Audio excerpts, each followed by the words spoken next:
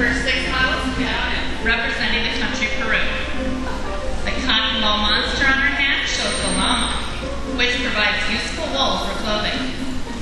Below, the tissue-covered straw the southern hemisphere, while the tomato stands for the sauce pepper made of tomatoes, onions, and pepper.